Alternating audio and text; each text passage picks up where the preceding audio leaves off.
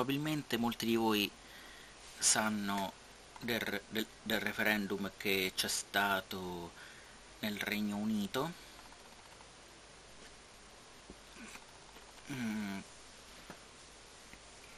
Eh, ha vinto l'uscita dall'Unione Europea. Eh, in quanto c'è stato il 52% di voti favorevoli, così ho letto in internet. Ehm, questo risultato mi sorprende perché non me l'aspettavo, però mi piace per motivi che spiegherò fra poco.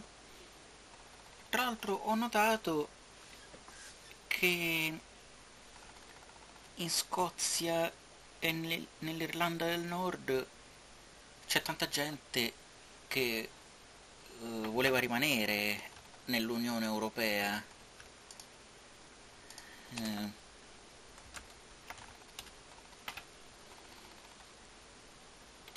eh, io ho trovato pure una mappa, eh, ora eh, non so se riesco a trovarla di nuovo.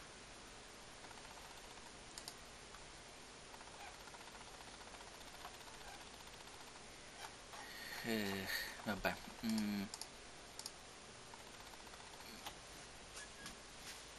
cercherò la mappa dopo. Comunque, andiamo avanti. E ricordate il referendum eh, per l'indipendenza della Scozia? Eh, probabilmente ce ne sarà un altro e probabilmente questa volta vincerà l'indipendenza.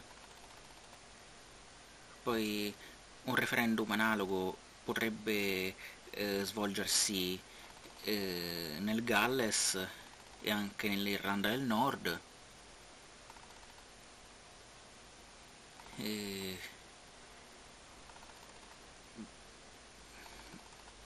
insomma poi il resto si era ehm, comunque cosa succederà nel Regno Unito e nel resto d'Europa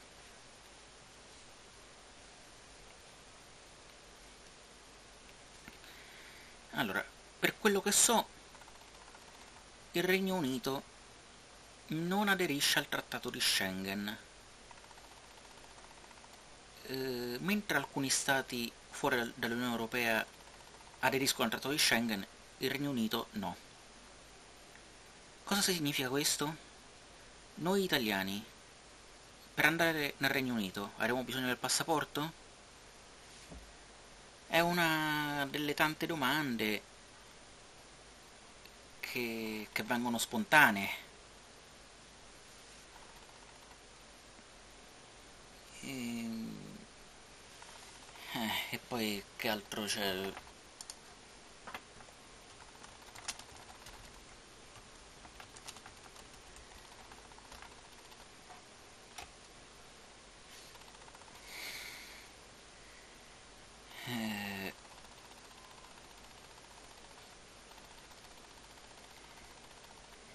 ecco mm, eh, poi se, se noi avremo bisogno del passaporto per andare nel Regno Unito ovviamente anche i cittadini del Regno Unito avranno bisogno del passaporto per andare in altri stati d'Europa.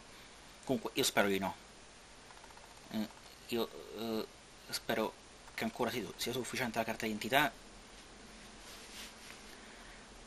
Non ho intenzione di andare nel Regno Unito ma c'è gente che ci va e quindi eh, insomma spero che almeno spero che almeno resti la possibilità di andare nel Regno Unito senza passaporto e... cos'altro posso dire?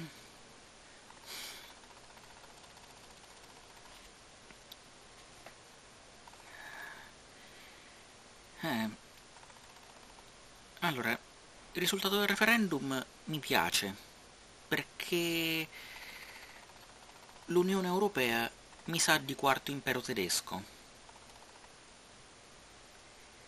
eh,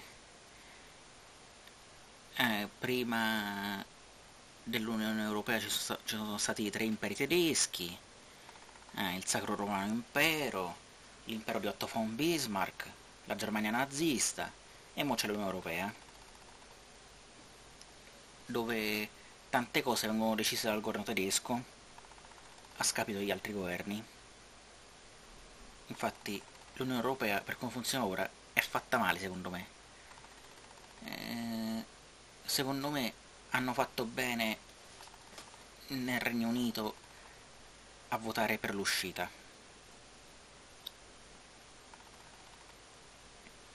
Eh,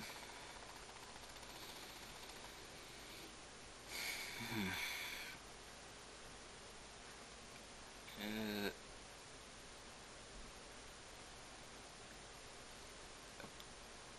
tra l'altro l'Unione Europea poteva essere un'occasione per fare seri cambiamenti.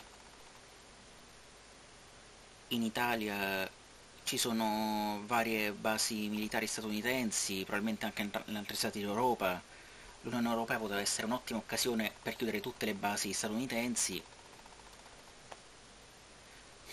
Eh, eh,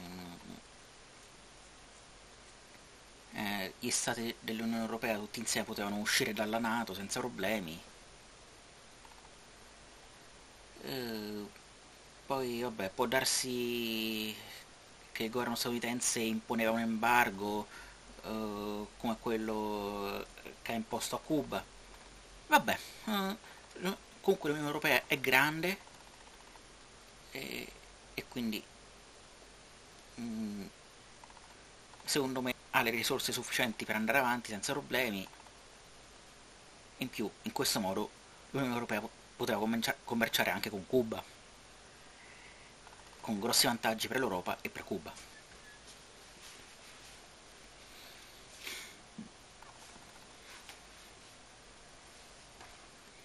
Eh...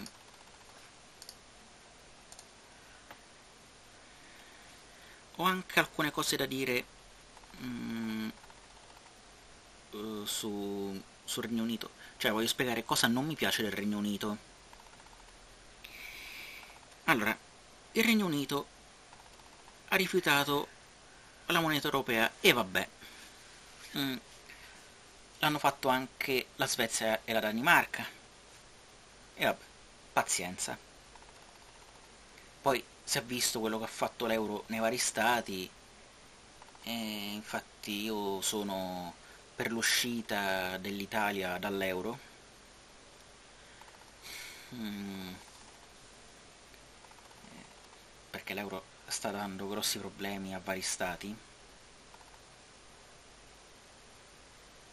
e quindi vabbè pazienza però ecco c'è un'altra cosa la Gran Bretagna eh, per anni ha rifiutato le unità di misura internazionali. Perché? Cioè, allora, cos'ha la Gran Bretagna di europeo? Andiamo avanti. E, ehm, ecco, a me mi era un po' fastidio che le scuole italiane insegnano l'inglese. Eh, tanta gente dice che l'inglese è internazionale. Ma come possiamo considerare internazionale una lingua parlata in stati che per anni hanno rifiutato le unità di misura internazionali? Tornerò su questo argomento in altri video. Comunque, per ora basta così. Grazie per l'attenzione.